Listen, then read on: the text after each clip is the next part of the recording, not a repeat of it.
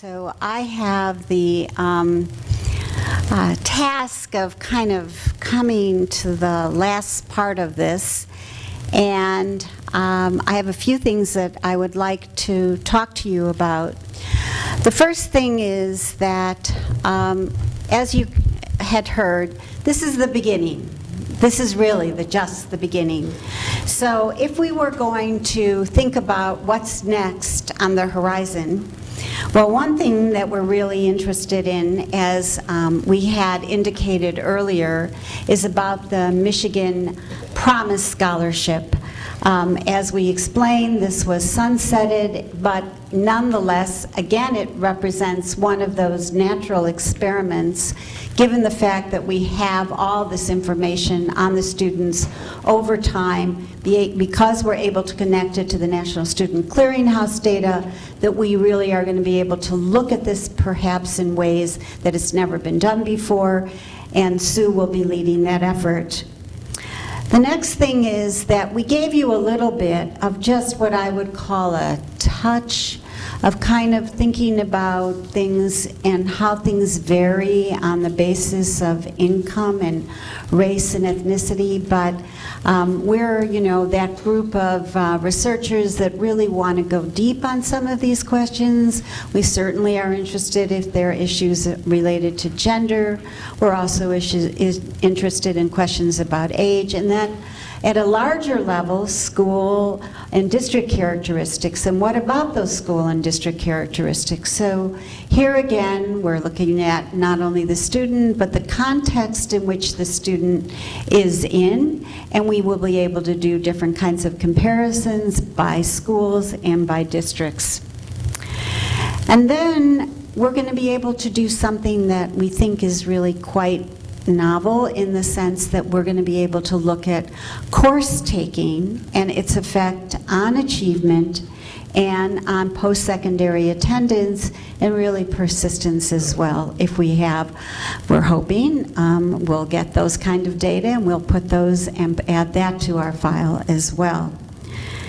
And then finally, as we explain, there are a lot of things here that aren't answered. So we have to be able to go deeper into our schools and figure out are there school organization and personnel changes that occurred that were in response to the MMC or that predicated the MMC. So how do you go about doing something like that? Well, the best way really to think about doing that is to go deep into schools. Now, we have a lot of high schools in this state. So we can't go into every high school in the state. Um, it's one of the reasons why we have the National Center for Education Statistics because in the 1940s, there's some people that came up with some really good ways of what we call sampling. So we don't have to go in and talk to every single school, but we can draw a sample of schools, and that sample of schools will give us a generalizable probability sample of all the schools in the state. So how do you do that?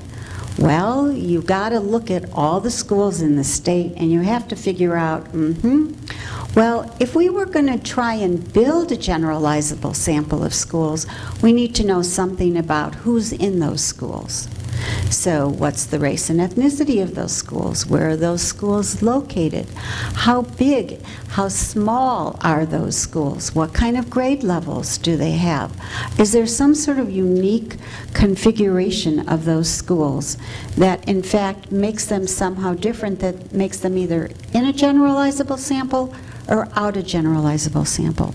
So when you're building this sort of probability sample, you have to do what's called, you got to stratify. You have to stratify on these kinds of factors to be able to build a probability sample of a number of schools in the state. And then you have to worry about, well, how many of those schools do you need for it to really be a powerful sample that, in fact, when you got through with it, you could say, aha, this looks like something that would really hold up for all the other kinds of high schools that were in the state.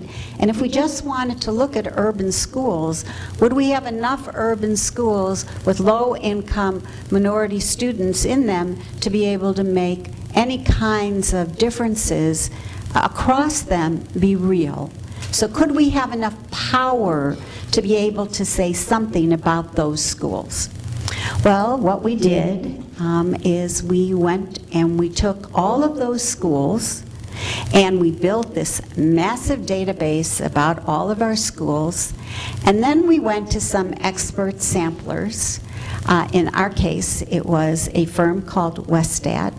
And we worked with the Westat firm in developing 150 schools. Actually, we have more than 150 because we knew that um, much as we are good researchers and much as we have a fabulous team of people working with us, that there were going to be some school districts that just were going to say, we're too busy, we can't do this, it's too much burden, we're sorry. Or we closed and we're no longer there anymore. Or we merged and we're no longer there anymore. So that that put us in a position where we knew that we needed what we call extra schools to be able to be used as replacement schools to what we were doing.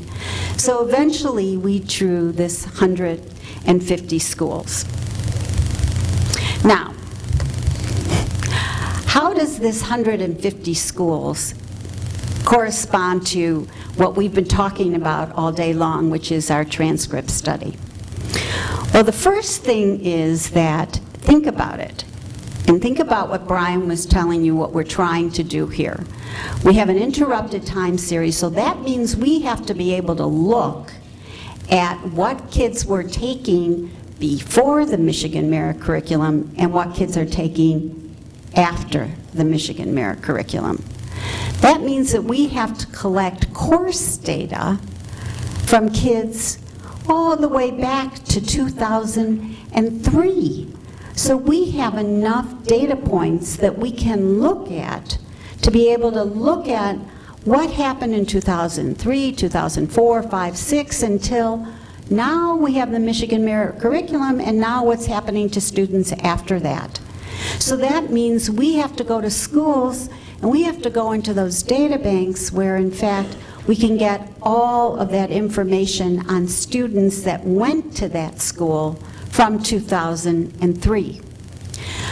Now, why do we need to do this? Well, fundamentally, the first thing that has to happen is something which we call fidelity of implementation. So what's fidelity of implementation?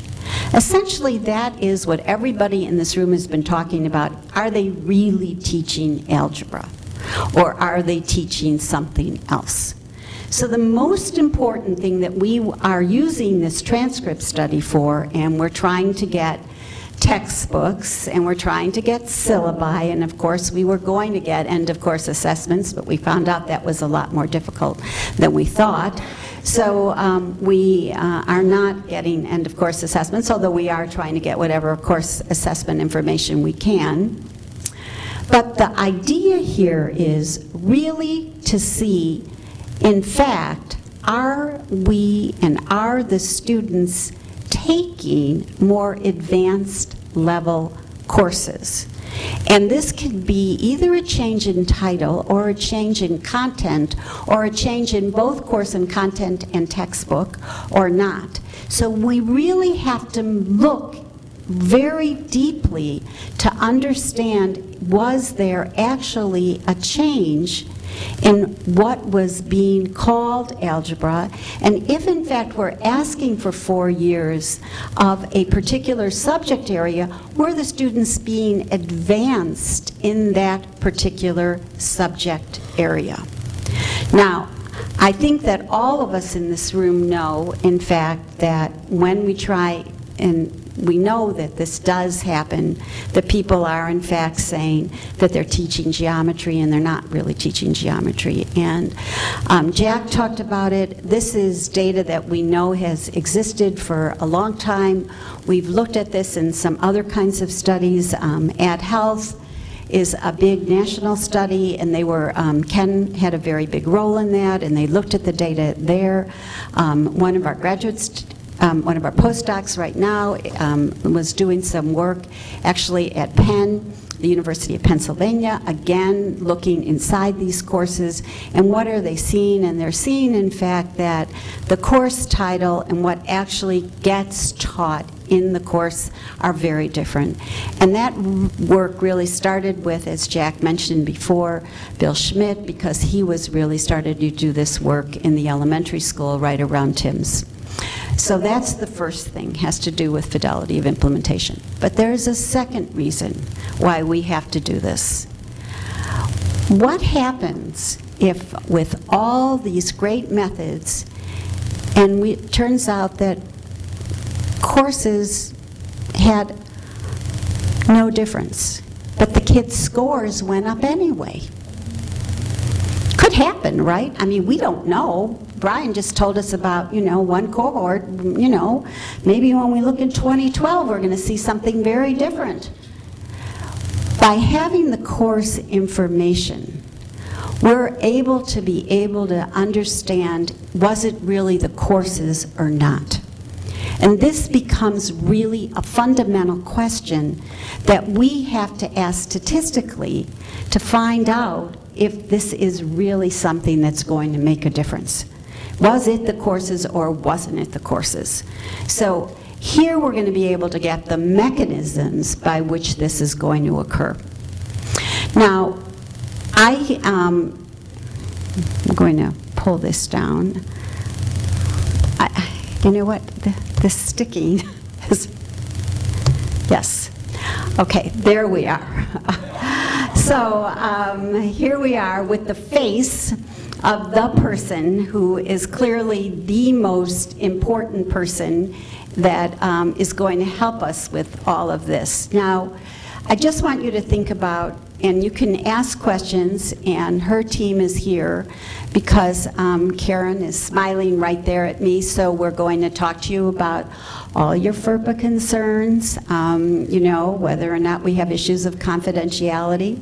We'll talk to you about any kinds of questions that you want to raise about the transcript study. But please, try and think about the transcript study in the context of the MMC evaluation as something that is really critical, critical in order to reach what Jack has said and for us to be able to be much more definitive in our response in terms of did the Michigan Merit Curriculum really make a difference? Now, I'm going to take a little step aside before I ask for your questions because I would be remiss if I didn't talk to you a little bit more about what this 150 school sample is able to do.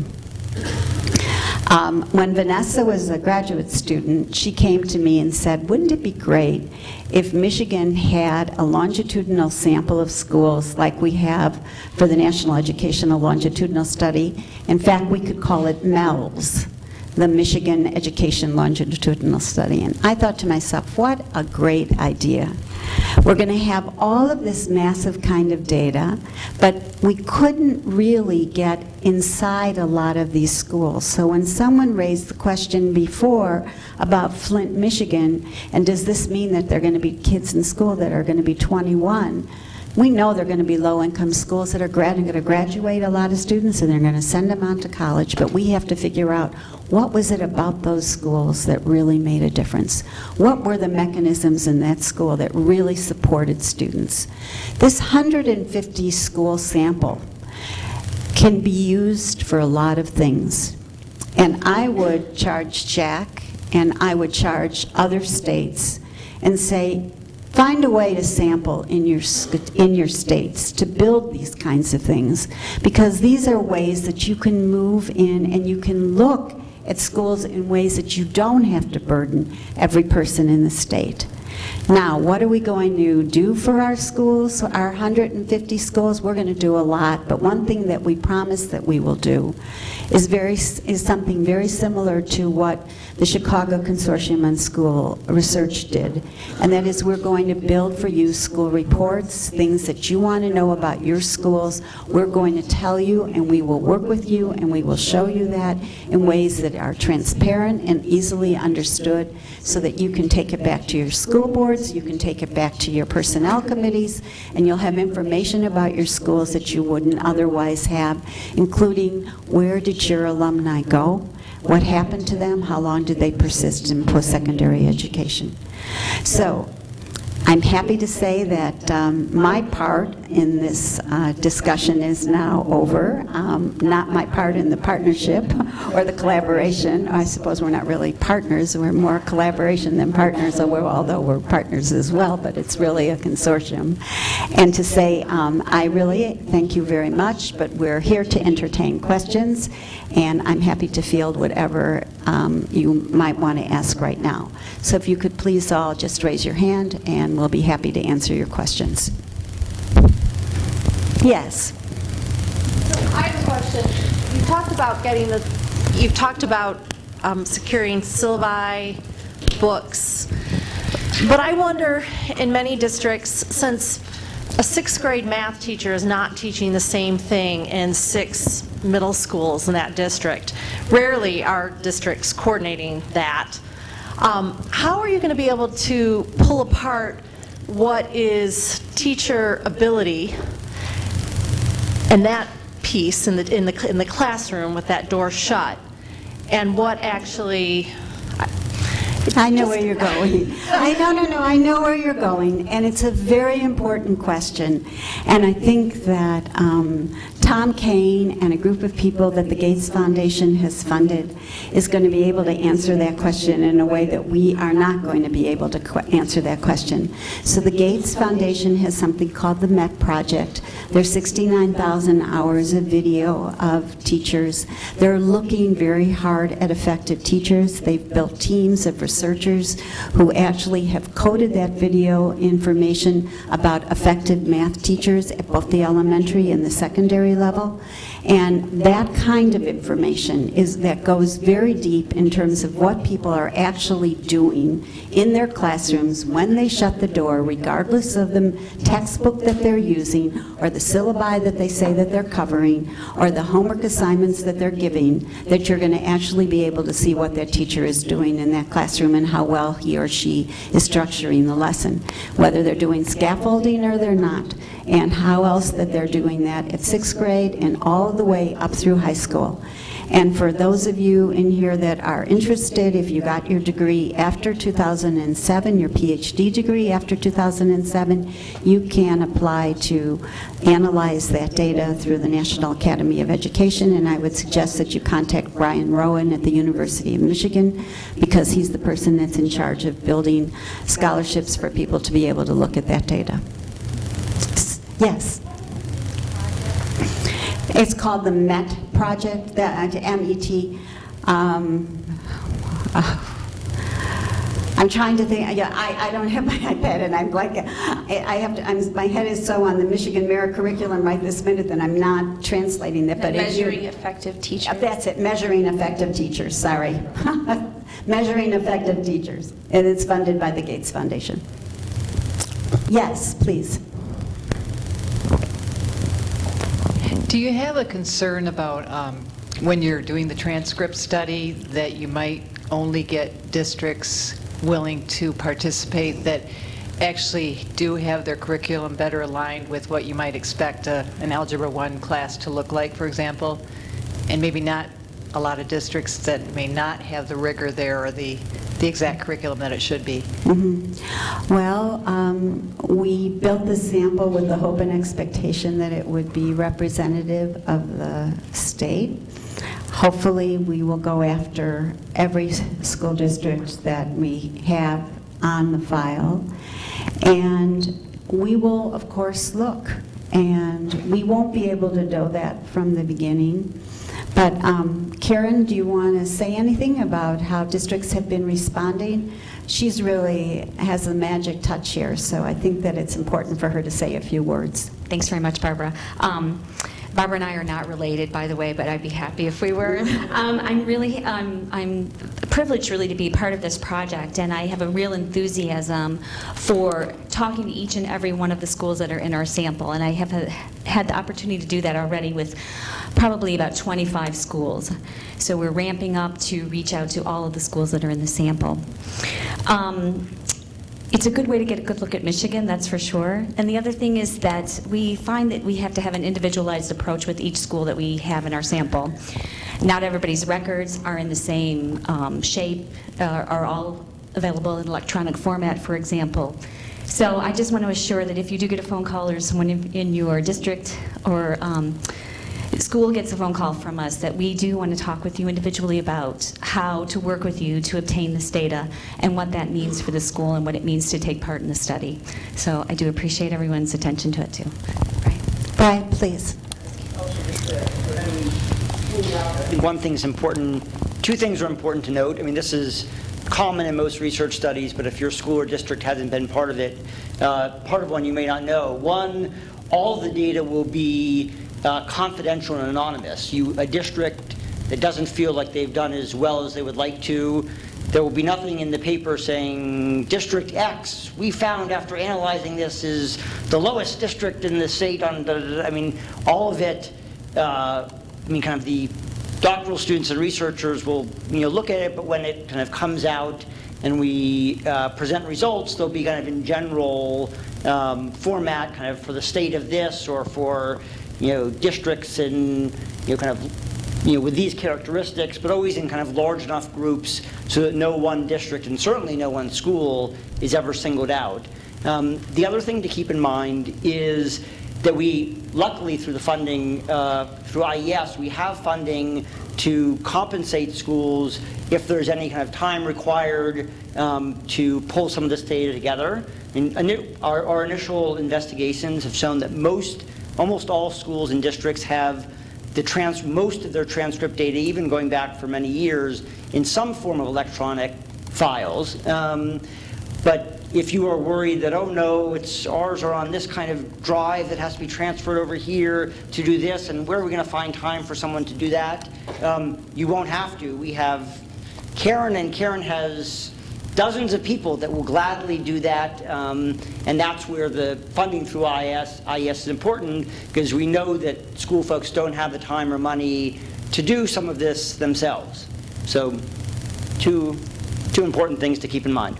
And we should say um, also that what we're, um, again, we're working with NCES on this as well because um, what we're trying to do with the coding of the transcripts and the course titles is to make that transparent so that um, the kind of coding scheme that we put together will be usable for other states, uh, especially as we move towards the common standards, that um, our hope and expectation, and we've been doing just a little bit of experimenting right now with some transcript data that we currently have. We've been doing some reliability studies. In other words, you know, if two people, you know, look at it, do they come up with the same um, kind of code for the same course?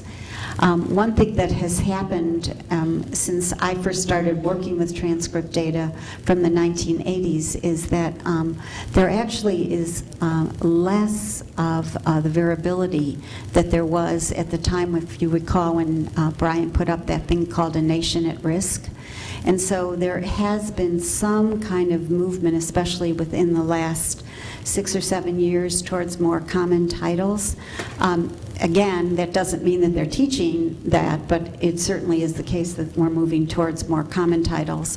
So um, we're thinking right now that that's going to be not as difficult a task, and we're hoping that the codes that we put together will be codes that other states will be able to use.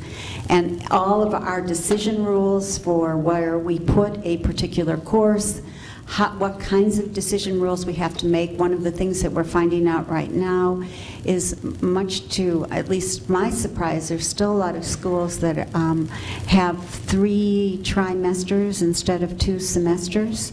And so um, you actually have three semesters of a particular course over the course of a year instead of two. So um, how do you change that and how do you make them equivalent so that you're actually looking at, you know, a certain half of the year in Algebra 1 and then the second half of the year in Algebra 1? So um, we have to be able to have decision rules on that, um, and that will become one of the things that we hope, again, will be, will be able to make more transparent. Yes? This is a bit of a broader question. Um, When I think about consortium work, and I think it's amazing that this consortium work is happening the way it is, I'm wondering if you've thought about partnering a little more um, intentionally with the ISDs in Michigan, since we now have these data systems that, you know, we've been working very hard to have the school consortiums working with us as ISDs, and I think we have access to a lot of the data, maybe down a little bit closer to the student than maybe you realize, or maybe you know that. Um, I'm just wondering what your thoughts are in terms of the larger consortium work and that possibility. And, um, I- yes. Yes. Yes, well, I know, but I want to, um, I, uh, but I want to talk a little bit more about that because I think, um, Sue, if that's okay. But, but if I'm, if I'm, if I'm missing something or I'm saying something wrong, correct me, please. But um, when we were thinking about first doing this transcript study, um, actually Brian Rowan is the kind of person that's in charge of this, and his initial uh, image was that we were going to go to the ISDs, and we went to, in fact, um, we did an ISD study last summer, where in fact we went to all of the ISDs and we were trying to find out where the transcript data were, and also how many of the ISDs collected end-of-course assessments or had their own course, end-of-course assessments. And we found a lot of variability um, among the ISDs, a lot more uh, variability than we had expected. Um, And um, we still are, uh, of course, in the situation of wanting to work very much with the ISDs because we know that some of the transcripts are held with the ISDs. We also know that some of the end-of-course information is with the ISDs, and we also know that the ISDs can be great partners with us in um, having districts and schools participate in the transcript study. And this is a way also that if you have particular information that you want to share with us, that we can append to our already existing files, that that would be a great way to move and get more information. I just had a question. There's a lot of talk right now about um, uh, moving to the Common Core and how to meet all efficiently, and maybe uh, the integration's a really great way to do it, project-based learning. Um, Are you taking those kinds of models into consideration in your 150, talking about variability in the 150 schools that you're sampling? Yes. And the other thing is, we, we talked about, uh, a lot about standards-based um, re- reporting um, versus grading uh, and end of course. Um, And so you're going to see a little bit of that at least, probably. And, um, but there's a lot of interest in it because it's an efficient means and it puts students into an inquiry mode instead of um, the traditional uh, course. And, and thank you very much for your comments. So let me just talk a little bit about what we're going to be doing with the 150 schools, because it isn't just getting the transcripts and it's not just, you know, collecting things. One of the things that we would very much like to do with, I think you heard uh, before, is we'd like to interview the teachers and the principals.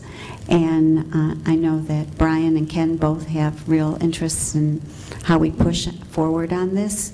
So probably one of the first things that we'll start doing is, in addition to sitting and building um, models that make sense in terms of trying to understand what's actually going on in the schools, as teachers have in fact, and principals have made school organizational patterns change to meet the Mer- Michigan Merit Curriculum, we'll also want to get some other kinds of information. So probably we'll be holding what we call focus groups with teachers and principals and talking through some of these issues about what kinds of things we really need to be looking at and looking at more closely, what kinds of questions we really need to be asking to get at some of these things.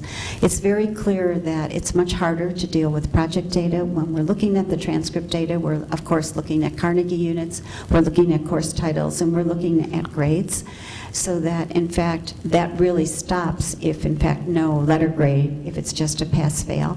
Of course, if it's just a pass-fail, we'll have that information as well. But there might be other kinds of things that we really need to know about, and there might be some things that um, it might be worthwhile to talk to people that are collecting transcript transcript data that they really need to make some sort of amendments.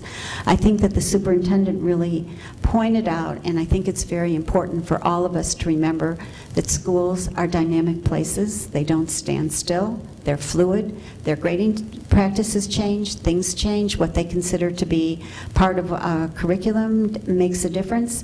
And we have to be attentive to those kinds of things, and we have to be responsive to those kinds of things. And they may, in fact, make it for us to have to look at other kinds of things. But right now, this is sort of the plan that we're going with. And if things change dramatically, we will, of course, make changes ourselves. We wanted to get you all real early in the morning when you were all bright and had lots to say, fill you with information, not, you know, and we kind of figured that we would end um, a little sooner than later. And we did it quite deliberately because we really wanted to make sure that we got our message out and it didn't become one where, you know, we got into a whole lot of issues that we really couldn't answer very well. But I would like to say that um, the issue about um, staying connected, we have a website, um, and we are open. Uh, we answer questions, and um, I would like to say that please, you know, come to our website, come to us, talk to us, uh, talk to Karen.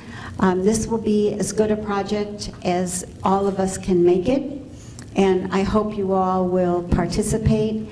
And before we close, um, it's important that I say one little thing, uh, which is that Brian has been in sunny California on sabbatical this year. Uh, he's been very active, and um, we've been Skyping with him regularly, so he's not off the hook. And as you could tell, he's very much involved in what we're doing. But um, Sue has really had to shoulder the majority of the work associated with this meeting, which in my mind has turned out to be a great success.